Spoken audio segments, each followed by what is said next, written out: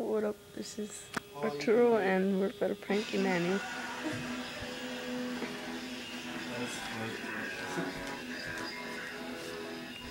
oh shit. Man, um, do your phone charger? ¡Ay, chingado! ¡Peteo, te madreo! pe- Y por ahí se